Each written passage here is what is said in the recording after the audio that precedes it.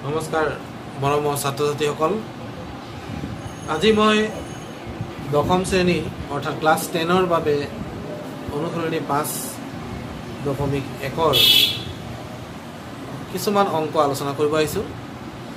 তোমালোকে বৰ্ডত দেখা পাইছা অনুসৰণি পাঁচ দশমিক এক। পাঠটো আৰম্ভ কৰাৰ আগতে আমি লিখি থোৱা আছে সমান্তৰ প্ৰগতি। এতিয়া নামটোতে তোমালোকে গম পাইছা নিশ্চয়। ই কি হয়? সমান্তৰ প্ৰগতি মানে কি? ইয়াৰ মানেটো মই পোনপটীয়াকৈ নকৈ মই তোমালোকৰ বাবে কেইটামান উদাহৰণ লৈ আহোঁ। আমি এক দুই তিনি চাৰি পাঁচ ছয় তিনি ছয় এইটো বেলেগ এইটো এটা উদাহৰণ দুই নম্বৰ উদাহৰণটো লৈ আহিছোঁ পাঁচ দহ পোন্ধৰ বিছ পঁচিছ দহ দহ দহ লৈ আছোঁ তিনি মই লৈ আছোঁ দহ বিছ ত্ৰিছ চল্লিছ মই বৰ্ডত কিছুমান সংখ্যাৰ তালিকা লিখিছোঁ দেখিছা? বৰ্ডত থকা সংখ্যাৰ তালিকাসমূহ তোমালোকে যদি লক্ষ্য কৰা তেতিয়াহ'লে দেখা পাবা এক। প্ৰথম সংখ্যাটো লিখিছোঁ মই ইয়াত। প্ৰথম উদাহৰণটোত মই লিখিছোঁ এক। প্ৰথম তালিকাটোত মই লিখিছোঁ এক। পিছত লিখিছোঁ দুই। পিছত লিখিছোঁ তিনি। এইবিলাক কি? এইবিলাক আমাৰ স্বাভাৱিক সংখ্যা। এইটো কি? পাঁচ দহ পোন্ধৰ বিছ পঁচিছ এইবোৰ কি? এই স্বাভাৱিক সংখ্যাবিলাকৰ ভিতৰৰে কিছুমান সংখ্যা। দহ বিছ ত্ৰিছ চল্লিছ ঠিক একেধৰণৰে এইবোৰো স্বাভাৱিক সংখ্যাৰ পৰাই লিখা কিছুমান সংখ্যা। এতিয়া আমি যিহেতু সমান্তৰ প্ৰগতি পঢ়িবলৈ আহিছোঁ ইয়াত চোৱা এইটো এটা তালিকা পাইছা সংখ্যাৰ তালিকা। এই সংখ্যাৰ তালিকাটোত প্ৰত্যেকটো সংখ্যা চোৱা। এই এক প্ৰথম পদটোৰ বাহিৰে বাকী যিমানবোৰ পদ আছে একৰ পিছৰ পদটো কি? দুই। দুইৰ পিছৰ পদটো কি? তিনি। তিনিৰ পিছৰ পদটো কি? চাৰি। চাৰিৰ পিছৰটো পাঁচ। পাঁচৰ পিছৰটো ছয়। ছয়ৰ পিছৰটো কি হ'ব? সাত। এনেকৈ গৈ থাকিব। চ' প্ৰত্যেকটো সংখ্যা প্ৰথম পদটো হ'ল এক পিছৰটো পালা এক যোগ এক পিছৰটো আকৌ দুই যোগ এক পিছৰটো পালা তিনি যোগ এক পিছৰটো পালা চাৰি যোগ এক পিছৰটো পালা পাঁচ যোগ এক। চোৱাচোন এটা নিৰ্দিষ্ট সংখ্যা যোগ কৰি মই এটা সংখ্যাৰ পিছৰ যিটো সংখ্যা সেইটো উলিয়াই দিছোঁ। তো এনেকুৱা ধৰণৰ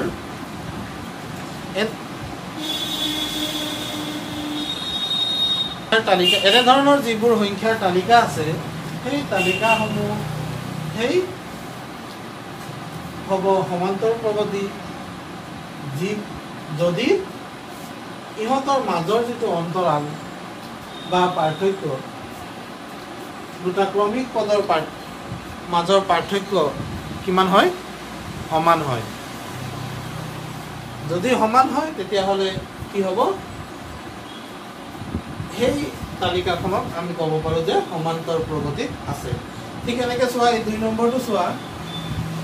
প্ৰথম পদটো পাইছা পাঁচ পিছৰটো পাঁচৰ লগত পাঁচ যোগ কৰিলে আমি দহ পাওঁ পিছৰটো আকৌ পাঁচ যোগ কৰিলে পাওঁ। ঠিক এনেকৈ চোৱা প্ৰত্যেকটো পদৰ লগত আমি কি কৰিছোঁ যোগ পাঁচ কৰি পাইছোঁ যোগ পাঁচ কৰি পাইছোঁ যোগ পাঁচ কৰি পাইছোঁ যোগ পাঁচ কৰি পাইছোঁ। ঠিক এনেকৈ এইটো পদত আমি যোগ দহ কৰি পাইছোঁ ইয়াত কি কৰিছোঁ যোগ দহ কৰি পাইছোঁ ইয়াত যোগ কৰিছোঁ দহ দহ কৰি পিছৰ পদটো পাইছোঁ।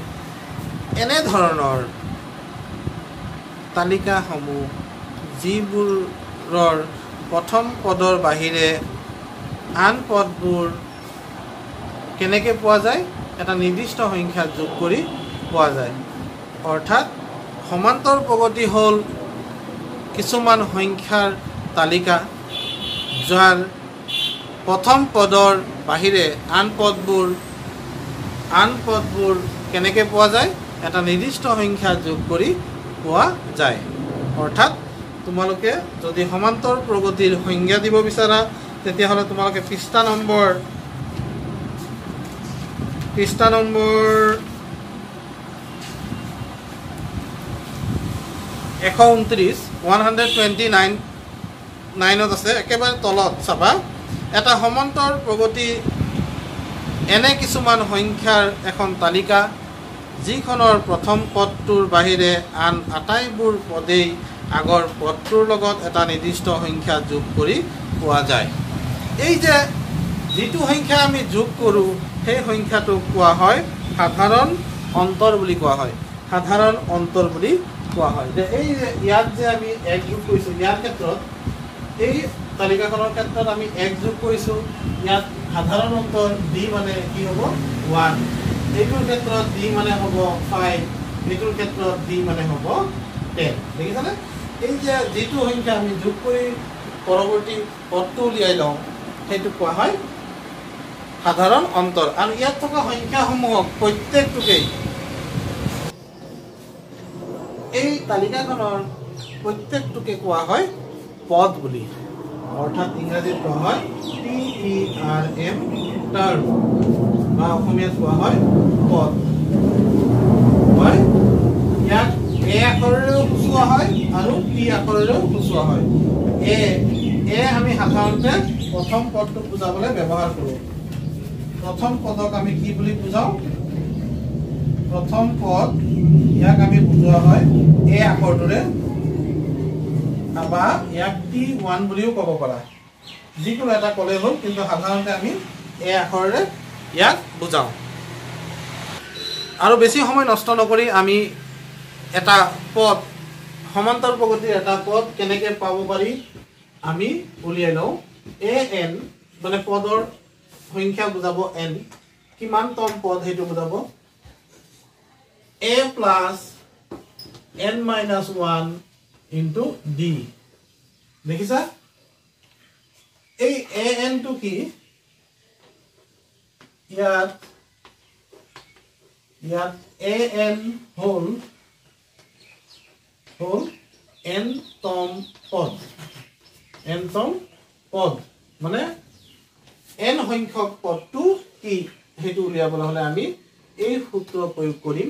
চোৱা য'ত এ হ'ল এ হ'ল প্ৰথম পদ প্ৰথম পদ এন হ'ল পদৰ সংখ্যা আৰু ডি হ'ল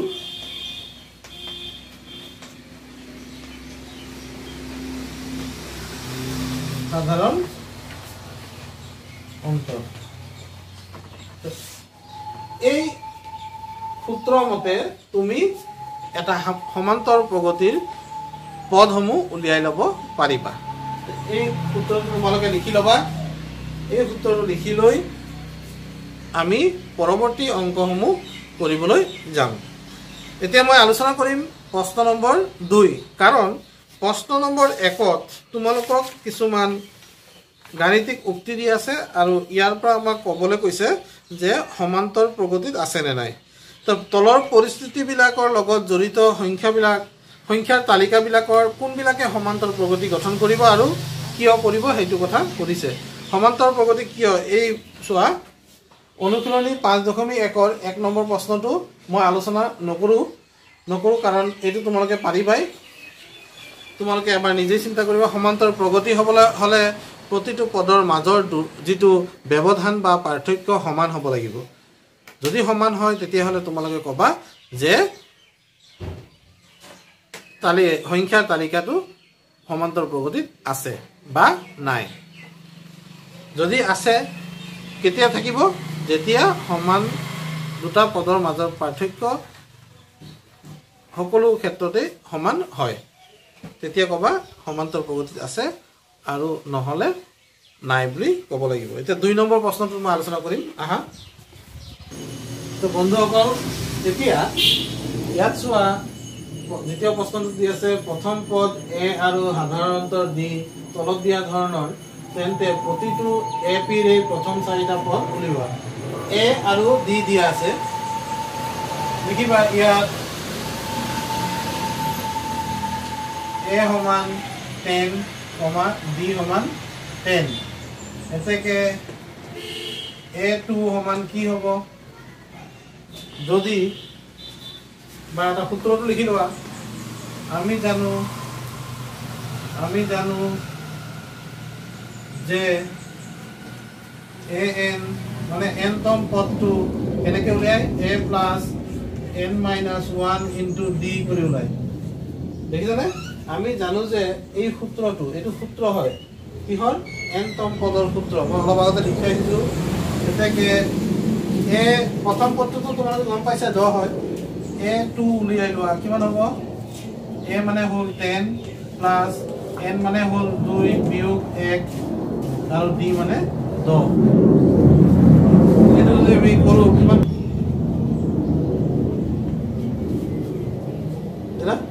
এইটো মানে কি পাম চোৱা? দহ যোগ দুইৰ এক গ'ল থাকিল এক পূৰণ দহ সমান দহ যোগ দহ সমান পাই গ'লোঁ বিছ। অৰ্থাৎ এ টু দুই নম্বৰ পদটো আমি পালোঁ। এতিয়াকে এ থ্ৰী মানে কি হ'ব? এ থ্ৰী মানে কি হ'ব? এইটো সূত্ৰটো বাৰে বাৰে লিখিব নালাগে। এ মানে হ'ল টেন পূৰণ টেন যোগ পূৰণ নহয় যোগ। প্ৰথম পদ যোগ পদৰ সংখ্যা তিনি বিয়োগ এক পূৰণ কিমান? ডি ডি মানে দহ দিয়া আছে। গতিকে এতিয়া কি হ'ব চোৱা? দহ যোগ দুই পূৰণ দহ সমান দহ যোগ বিছ সমান পাই গ'লা ত্ৰিছ তাৰমানে ধৰিব পাৰিছা প্ৰথম পদটো হ'ল দহ পিছৰটো হ'ল বিছ তিনি নম্বৰটো হ'ল ত্ৰিছ চাৰি নম্বৰটো কিমান হ'ব? এতেকে এ ফ'ৰ সমান কিমান হ'ব? এ ফ'ৰ মানে আকৌ এ প্লাছ এন মানে ফ'ৰ চোৱা এ ফ'ৰ অৰ্থাৎ এন মানে প্ৰথম পদ টেন যোগ চাৰি বিয়োগ এক পূৰণ দহ। কিমান পাম? দহ যোগ তিনি পূৰণ দহ সমান দহ যোগ ত্ৰিছ সমান কিমান পাম? চল্লিছ এতিয়া এতিয়া আমি চোৱা প্ৰথম পদটো আমাক প্ৰশ্নতে দিয়া আছিলে এ মানে টেন দ্বিতীয় পদ এ টু মানে আমি পাই গ'লোঁ বিছ তৃতীয় পদ ত্ৰিছ পালোঁ চতুৰ্থ পদ আমি কিমান পালোঁ? চল্লিছ পালোঁ। আমাক চাৰিটা পদ ওলাব দিছিলে। প্ৰথম চাৰিটা পদ উলিয়াব দিছিলে গতিকে প্ৰথম চাৰিটা পদ আমি পালোঁ। কি কি পালোঁ? দহ বিছ ত্ৰিছ আৰু চল্লিছ। ঠিক সেনেকৈ এতিয়া মই যাওঁ দুই নম্বৰ প্ৰশ্নটোত। এক নম্বৰ দুই নম্বৰৰ দুইত যাম। তো বন্ধুসকল দুই নম্বৰ দুইটোত দিয়া আছে এ মানে মাইনাছ টু আৰু ডি মানে দিয়া আছে জিৰ' সমাধান লিখা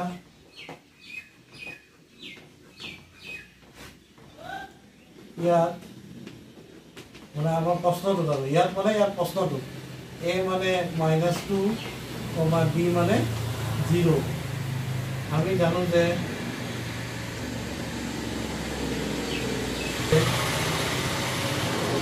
এ এন মানে হ'ল এ যোগ এন মাইনাছ ওৱান পূৰণ ডি এই পূৰণটো তোমালোকে নিলিখিলেও হয় ইয়াত এই ব্ৰেকেটটোৱে পূৰণ বুজায় সেইকাৰণে নিলিখিলেও হ'ব এতেকে তোমালোকে এতিয়া কোনটো পদৰ মান ওলাবা এ টু ওলাবা কাৰণ এ ওৱান দিয়াই আছে এ দিয়া আছে তো যেতিয়া দুই ওলাবা তেতিয়া এৰ ঠাইত কি পাব লাগিব এৰ ঠাইত পাব লাগিব মাইনাছ টু যোগ এন মানে কিমান? এন মানে ইয়াত চোৱা এ টু লিখিছোঁ গতিকে দুই বিয়োগ এক পূৰণ ডি মানে কিমান? শূন্য। অৰ্থাৎ তোমাৰ এ টু কিমান পাই যাবা চোৱা? এ টু পাবা মাইনাছ টু। কিয়? কোনো এটা সংখ্যাৰ লগত শূন্য পূৰণ কৰাৰ লগে লগে এই শূন্য হৈ যাব গতিকে শূন্যটো যদি মাইনাছ টুৰ লগত যোগ কৰা তেতিয়া উত্তৰটো কি হ'ব? Minus two. গতিকে এ গতিকে তোমালোকে এ টুৰ মান অৰ্থাৎ দ্বিতীয় পদটোৰ মান পাই গ'লা মাইনাছ টু। ঠিক এনেকৈ তৃতীয় পদটো ওলাই লোৱা এ থ্ৰী মানে কিমান হ'ব এ থ্ৰী মানে আকৌ সেই একেই মাইনাছ টু যোগ ব্ৰেকেটৰ ভিতৰত হৈ গ'ল তিনি বিয়োগ এক পূৰণ ডি মানে শূন্য। অৰ্থাৎ ইয়াৰ মান হ'ব মাইনাছ টুৱে হ'ব। যিহেতু ডি শূন্য গতিকে এ ফ'ৰ কিমান হ'ব? এ ফ'ৰো কি হ'ব? Minus two plus four minus one পূৰণ ডি মানে শূন্য অৰ্থাৎ মাইনাছ টু কি পালা?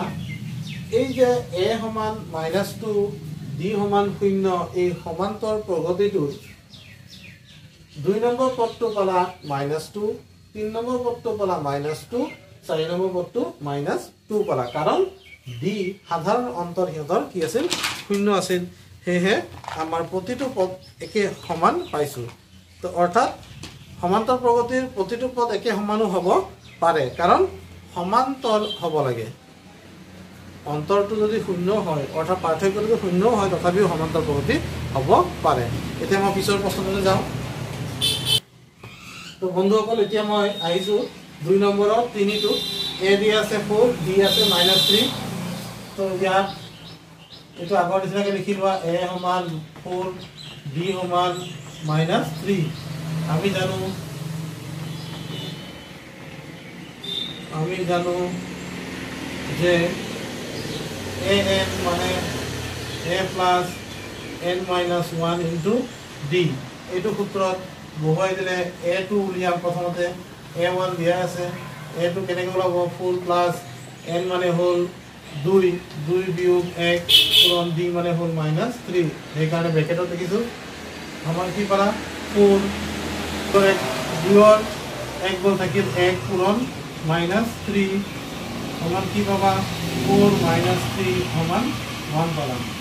এ টু উলিয়াই ল'লোঁ। এটোৰ মানটো আমি পালোঁ চোৱা কেনেকৈ হ'ল তোমাৰ ক্লাছ টেনৰ গতিকে পাৰিবা এইটো। এনেকৈ এ থ্ৰী কিমান হ'ব? এ থ্ৰী ঠাইত বহাম। ফ'ৰ প্লাছ থ্ৰী ওৱান আছে। ইনটু মাইনাছ থ্ৰী ডি মানে মাইনাছ থ্ৰী গতিকে এইটো কি পাম? ফ'ৰ প্লাছে মাইনাছে মাইনাছ তিনি দুগুণ ছয়। একেবাৰে লিখি দিছোঁ চোৱা। তিনি দুই এক গ'ল থাকিল দুই দুই তিনি গুণ ছয় মাইনাছ আছে গতিকে মাইনাছ হ'ব সমান হৈ গ'ল মাইনাছ টু এ থ্ৰীৰ মান পাই গ'লা। এতিয়া তোমালোকে এ ফ'ৰৰ মান উলিয়াবা। এ ফ'ৰৰ মান কিমান হ'ব? এতেকে এ ফ'ৰ সমান কিমান পাম? এ ফ'ৰ মানে আকৌ সেই এ ফ'ৰ মানে আকৌ এ মান ফ'ৰ আছে। ইয়াত হ'ব ফ'ৰ মাইনাছ ওৱান কাৰণ চাৰি নম্বৰ পদ চাৰি বিয়োগ এক পূৰণ মাইনাছ থ্ৰী মাইনাছ থ্ৰীটো হ'ল ডিৰ মান। যোগ তিনি চাৰি এক থাকিল তিনি পূৰণ minus three four minus nine হ'ব। তিনি আৰু তিনি পূৰণ কৰিলে ন হয় কিন্তু মাইনাছ তিন থকাৰ কাৰণে মাইনাছ নাইন হ'ল। এতিয়া চাৰিৰ পৰা যদি ন যায় তেতিয়া কি হ'ব মাইনাছ ফাইভ থাকিব। গতিকে কি কি পালা? এ এ পালা ফ'ৰ প্ৰথম পদটো পালা চাৰি দ্বিতীয় পদটো কিমান পাইছিলা? নিশ্চয় টু পাইছিলা। দ্বিতীয় পদটো অঁ দ্বিতীয় পদটো পাইছিলা তুমি এক পাইছিলা। তৃতীয় পদ অৰ্থাৎ আমি এই অংকটোৰ শেষত আমি লিখিও দিব পাৰোঁ। এ মানে ফ'ৰ দিয়া আছিলে এ টু মানে ওৱান এ থ্ৰী মানে মাইনাছ টু এ ফ'ৰ মানে মাইনাছ ফাইভ অৰ্থাৎ প্ৰথম পদ চাৰি দ্বিতীয় পদ এক তৃতীয় পদ মাইনাছ টু চতুৰ্থ পদ মাইনাছ ফাইভ। এইদৰে আমি অংকবিলাকৰ পদবিলাক উলিয়াই ল'ব পাৰোঁ। বন্ধুসকল এইবাৰ মই আহিছোঁ দুই নম্বৰৰ চাৰিটোত য'ত এ মানে দি আছে মাইনাছ ওৱান আৰু ডি মানে দি আছে ওৱান বাই টু। ইয়াত এ সমান মাইনাছ ওৱান সমান ডি সমান ওৱান বাই টু দি আছে। এতেকে এ টু সমান কি হ'ব?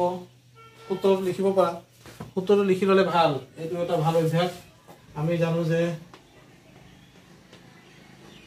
আমি জানো যে এ এন সমান a plus n minus one into d এতিয়া এ টু উলিয়াম। এতেকে এ টু সমান বহুৱাই যাবা। এৰ ঠাইত বহাব লাগিব মাইনাছ ওৱান প্লাছ এনৰ ঠাইত আহিব দুই বিয়োগ এক পূৰণ ডি মানে আহিব ওৱান বাই টু হ'ব? মাইনাছ ওৱান প্লাছ এইটো কি হ'ব? One into one by two দুইৰ এক গ'ল থাকিলে এক গতিকে minus one in plus one by two এইটো যদি তুমি লসাগু লোৱা লসাগু ল'লে কি হ'ব? লসাগু হ'ব দুই। দুই লসাগু ল'লে দুই আৰু এক পূৰণ কৰিলে মাইনাছ টু হ'ব প্লাছ এক থাকিব। অৰ্থাৎ উত্তৰটো কি হ'ব? মাইনাছ ওৱান বাই টু হ'ব। এইটো কেনেকৈ হয় সেইটো মই বুজাবলৈ নাযাওঁ কাৰণ ক্লাছ টেনৰ ল'ৰা ছোৱালী আৰু তোমালোকে জানাই এইটো যে minus one plus one by two সমান যোগ কৰোঁতে আমি লসাগু ল'ব লাগে। লসাগু লোৱাৰ পিছত লসাগু যেতিয়া নেকি পূৰণ কৰি পাওঁ তেতিয়া কি হয়? লসাগুটো দুই এগুণ দুই এগুণ দুই মাইনাছ আছে মাইনাছ থকাৰ কাৰণে মাইনাছ প্লাছ দুয়ে দুয়ক যাব এবাৰ এক এগুণ এক। গতিকে উত্তৰটো পালোঁ মাইনাছ ওৱান বাই টু সেইটো হ'ল এ টুৰ মান। এতিয়া এ থ্ৰী মান ওলাওঁ। এ থ্ৰী সমান কি হ'ব চোৱা? এ থ্ৰী মানে হ'ব minus one plus three by minus three minus one into one by two একেই প্লাছ এইবাৰ আহি গ'ল দুই পূৰণ দুই ভাগৰ এক দুই দুই কাটি গ'ল। গতিকে কি পালা? Minus one plus one equals to zero' তাৰমানে দেখিলানে তৃতীয় পদটো পাই গ'লা শূন্য। এতিয়া চতুৰ্থ পদলৈ যাওঁ। এতেকে এ ফ'ৰ সমান কি হ'ব? এ ফ'ৰ মানে minus one plus four minus one into one by two চোৱা কি হয়? এইটো ভাঙি ল'লে মাইনাছ ওৱান প্লাছ এইটো three into one by two লসাগু লোৱা লসাগু ল'লে কি হ'ব? লসাগু হ'ব দুই। দুই এগুণ দুই ইনটু মাইনাছ প্লাছ এক তিনি গুণ তিনি দুইৰে দুই যাব এবাৰ এক তিনি গুণ তিনিয়ে হ'ব। এতিয়া চোৱা এইটো যোগ কৰিলে কি পাবা? মাইনাছ টু প্লাছ থ্ৰী অৰ্থাৎ ওৱান হ'ব বাই টু তোমালোকে কি পালা? এই পদবোৰ পাই গ'লা এটা পালা মাইনাছ এটা পাইছা মাইনাছ ওৱান প্ৰথম পদটো তাৰপিছৰটো মাইনাছ ওৱান বাই টু তাৰপিছত জিৰ' তাৰপিছত পালা ওৱান বাই টু ঠিক এইদৰে আমি আন আন পদবোৰ উলিয়াব পাৰিম আমাক চাৰিটা ওলাব দিছে আমি চাৰিটা উলিয়াই দিছোঁ। বন্ধুসকল মই তোমালোকৰ লগত পাঁচ দশমিক একৰ এক নম্বৰৰ চাৰিটা প্ৰশ্ন আলোচনা কৰিলোঁ।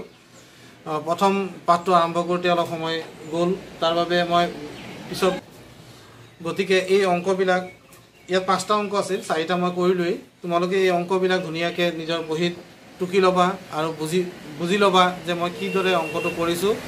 ইয়াৰ পৰৱৰ্তী ভিডিঅ'ত হয়তো কালিয়ে কালিয়ে মই তোমালোকৰ বাবে পাঁচ দশমিক একৰ তিনি আৰু চাৰি নম্বৰ অংক দুটা